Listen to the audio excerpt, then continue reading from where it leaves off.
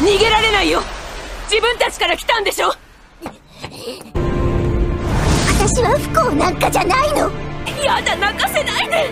知ってるわ。時余ったわずかな血伊豆くんからとっても信頼されてるお茶子ちゃん。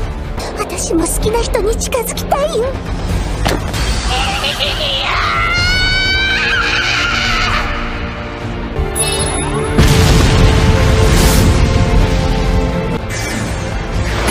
女子高生のふりすると世間はちょっぴり優しくなった。捕まらないようにお茶子ちゃんの個性が使える。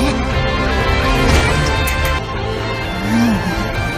私は恋して生きて普通に死ぬの私はもっと好きになる。最高の記事に。